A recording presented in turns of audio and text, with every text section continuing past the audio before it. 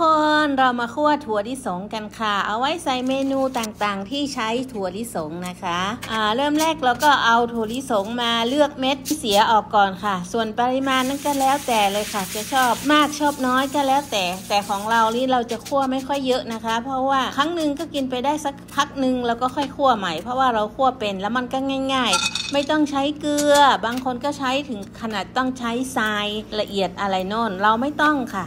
เมื่อได้ถั่วและอ่าเลือกถั่วเสร็จแล้วเราก็เอาไปล้างนะคะ ล้างน้ำให้สะอาดแล้วเราก็เอามาใส่กระทะค่ะ กระทะก็ไม่ต้องใช้กระทะใหม่ดีเดย์อะไรมากมาย ก็ใส่ก็คั่วไปค่ะ คั่วไปทั้งๆทที่กับน้ำนั่นแหละค่ะ เปิดไฟแรงด้วยแล้วทีนี้ก็คนไปคนมาพอน้ำเริ่มแห้ง เม็ดถั่วเริ่มตึงอะเขาบอกก่อนนะคะ ตอนที่เขามีน้ำนะควรจะคนให้ถั่วโดนความร้อนทั่วทุกเม็ดนะคะ ถั่วจะได้สุกค่ะ แล้วทีนี้เราก็คั่วให้แห้งเลยค่ะ คั่วไปเรื่อยๆ ค่ะ คนไป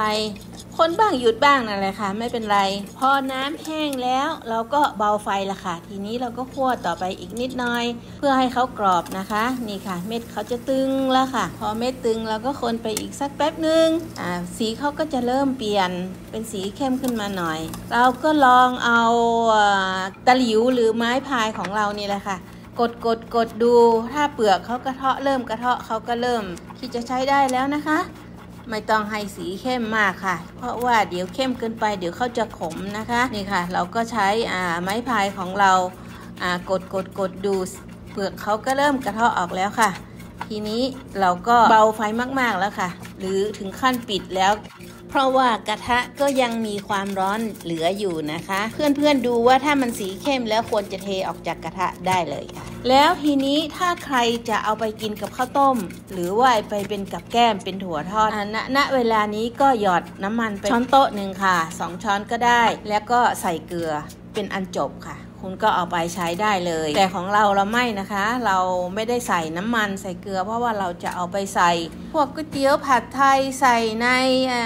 ก๋วยเตี๋ยวเส้นไรของเรานี่ค่ะ พอได้ที่แล้วก็อ่า